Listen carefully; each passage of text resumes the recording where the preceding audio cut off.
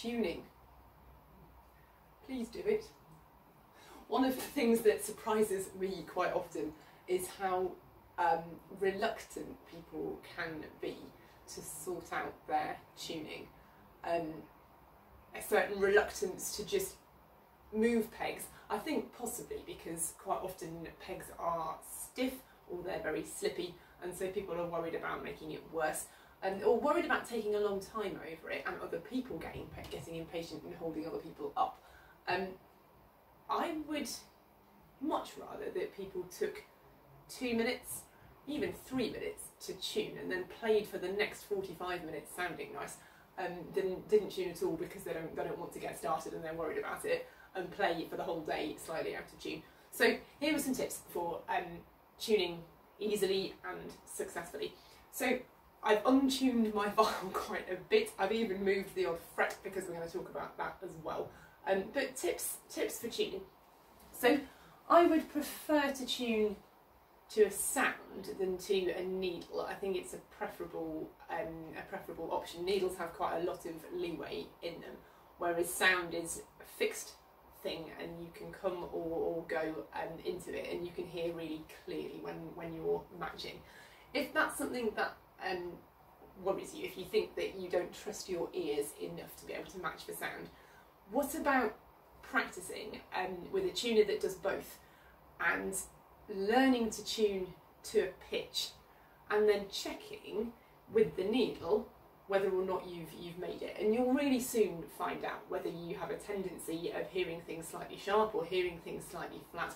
And the more you do it the, the more accurate. You can train your ear um, to hear more accurately so I would I would really recommend trying to tune to a, a constant solid pitch um, and if you're if you're worried about the, the reliability of your own ears, then check it against um, a, a, needle meter as well. So I'm going to start at the top. Um, here's D. We'll have it in that octave, I think. One of the things that people often um, are not sure about is that they can tell that they're not quite right, but they're not sure whether they're sharp or flat. So if you're close, but I'm not sure. I'm sure now. So I've moved it so that I know I'm out and I know I'm flat.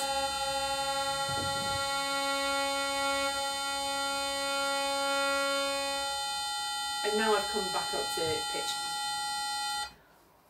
The most common things, the most unhelpful things that I find people doing when they're tuning are lots of this, rather than a really nice smooth. It's hard for you to hear if your bow is changing all the time. If you're tuning to the needle meter, it's impossible for the needle to pick up a steady reading if the note is always um, vibrating. So a really steady, smooth bow is important.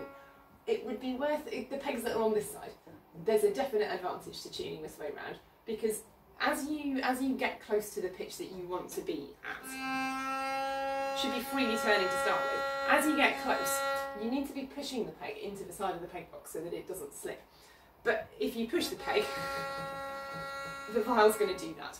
Fortunately, your head isn't in the way. So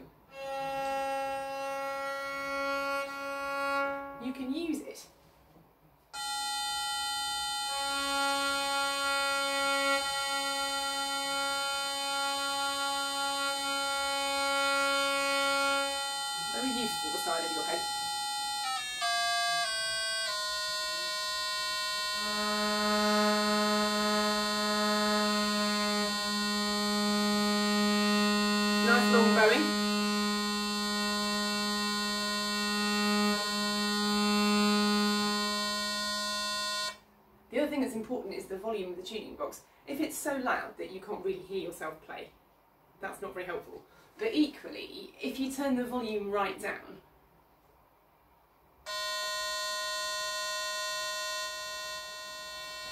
and you tune like this, when you come to play, pitch varies quite a lot depending on how much weight you put behind things. So it's really unhelpful to tune ever so quietly and then play in real life. So we'll turn the volume up just a little bit more.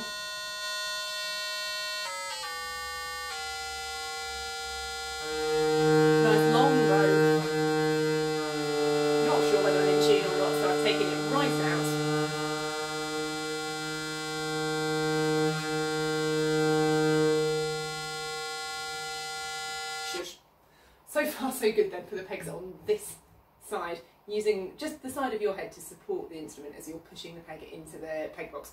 What happens on this side then? You're merrily turning your peg away, you get to the right place, and again you push and there's nothing to push against. So you need to make sure that you've got the peg in two fingers, three fingers, whatever means you can get a decent grip on the peg. But you have to have something on this side of the peg box as well. So I've got my little finger round the side of the neck here and a couple of fingers and a thumb on the peg. So once it comes to pushing the peg in, I'm holding it in place with this little finger.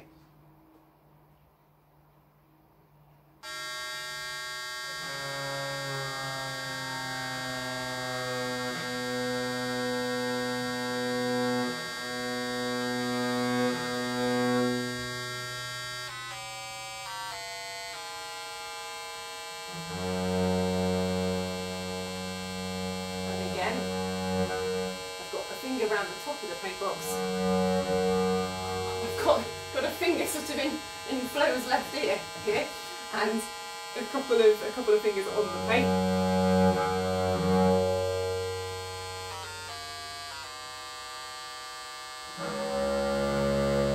That is starting to get quite difficult to hear for me, so I think I would rather have that octave. I've got fingers on the top of the peg box here.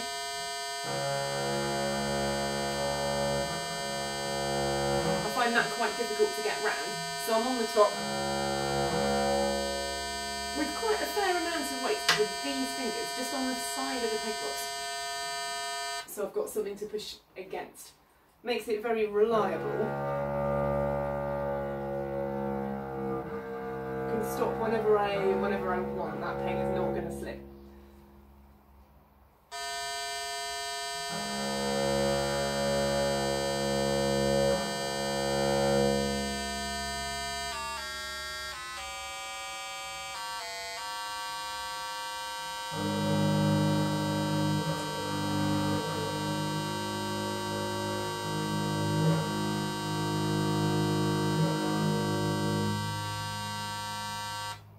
Okay, so you've got your strings in tune.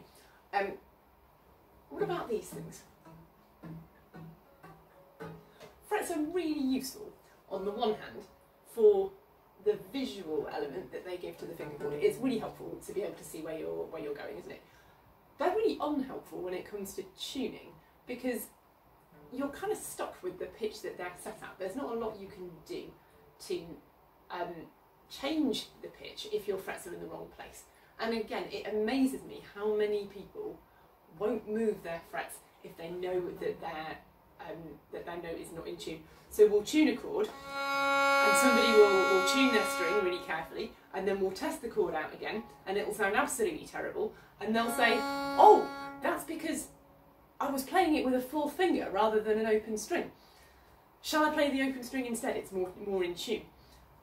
And I think this is a D. This is also a D. Ought to sound like a D. If one of your Ds sounds different to the other, something is not right. If your strings are in tune, then you have to move your frets so that they agree. So the thing that you need to pick first, I guess, is to decide what temperament you're going to play in. So I'm tuning my seven string bass, and I'm going to tune it to Vallotti because that is a kind of safe, um, serves lots of purposes, not too extreme type temperament. So I've moved a fret just to be able to show you this. Here's the in.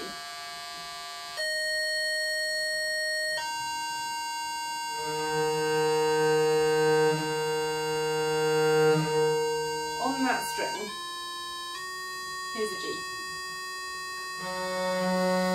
Revolting.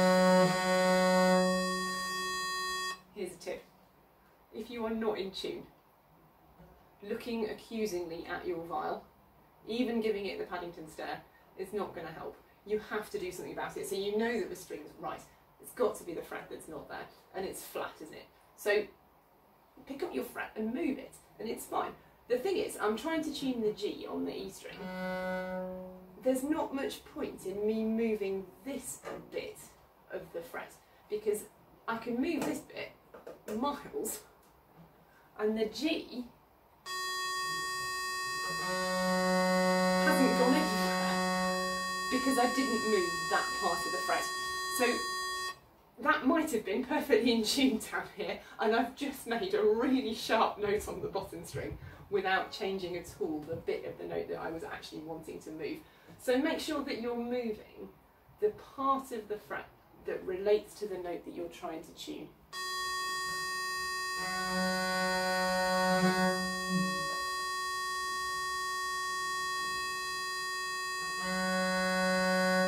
Much better.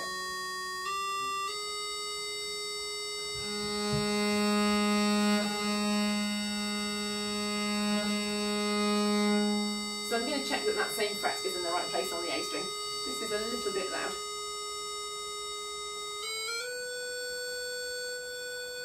Here's the C.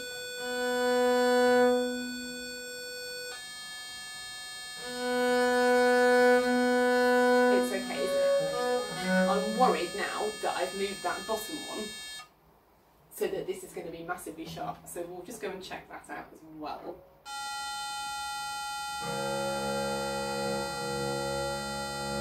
Fingers on the top of the peg box.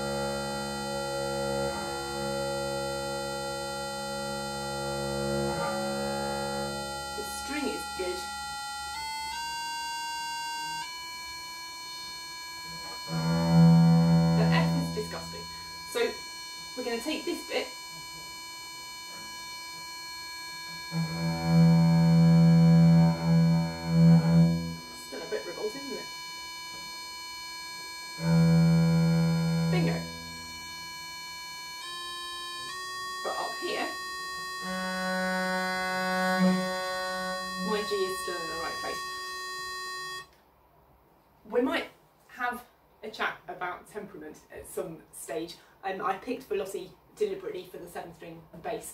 Um, it's amazing how many people will play with other people and have their viols tuned in completely different temperaments and say, well, it can't make that much difference, can it? Um, it makes a huge amount of difference depending on which note you're playing. So do agree on your temperament with your consort or with your keyboard player if you're um, if you're playing later baroque stuff. If you're playing continuo, don't play an equal temperament if the keyboard's tuned to to Vallotti because it will sound revolting. Um, and just don't be afraid of moving your frets. If your pegs don't work either, if they don't turn um, easily or they slip really easily, get somebody to sort them out because if your pegs don't don't work they're no use to you at all viols go out of tune they go out of tune all the time so if you have pegs that that don't work and pegs that you're worried about moving that's no help to you at all so if you think about the number of string instruments in the world talking violin family viola cello gamba hundreds of pegs get made and fitted properly to work and to turn every year. If your pegs don't work, find yourself a decent luthier, take your instrument and, and ask them to sort the pegs. They need to turn freely, they need to not be going in, in great big jumps because then you, you can't tune accurately. Um, they need to not slip as well. So if that's a real problem, it should be possible to get them sorted. It might be possible to just, if they're stiff, to do um, to put some peg paste or things on. We might talk about that in a in a later video as well. Um, but as long as your pegs work, then tuning, just practice blowing really long smooth notes and getting this hand to move the pegs around.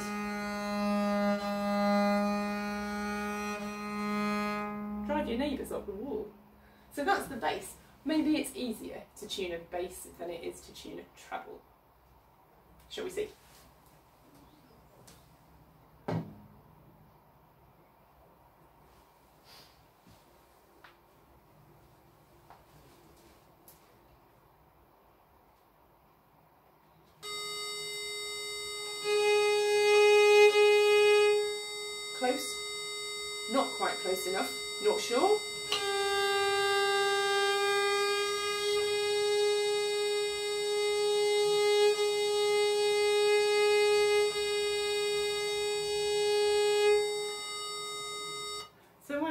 My treble resting actually on me, it's not waving about in thin air.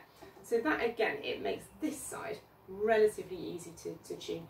I think I've probably got a finger here. Just things, anything that supports it while you're trying to push the peg into the peg box. Let's have a top D.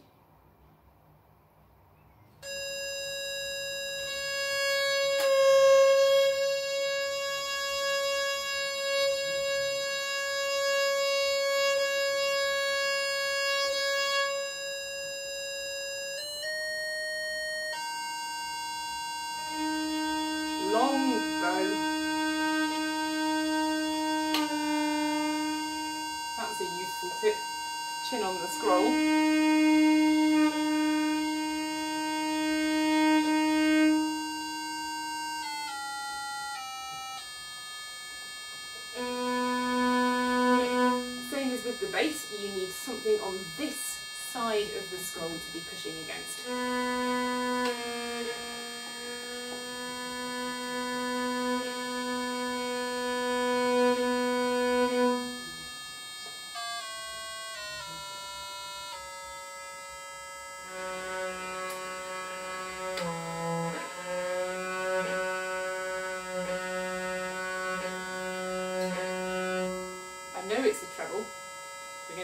Bottom string. None of this, it's a treble I never play down there. It's important, and it's important because you've probably noticed this little two pence piece that is blue tacked very tastefully to the belly of my treble, and it's there as a wolf eliminator. I might one day acquire something that's slightly more um, aesthetically pleasing, but for now that does the job.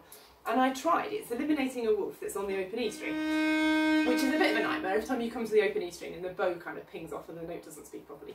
And I solved it to start with by tuning the bottom string up a tone to an E. So it was an octave below this string, and it solved it perfectly. But it caused all sorts of other, particularly the top string, that added tension at the bottom, made the top string behave completely differently.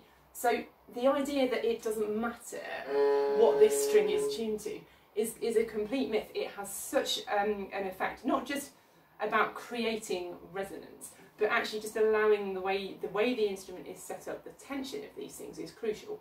So if your top, if your bottom string is miles out, it causes all sorts of problems up here. So really do tune the bottom string on your treble.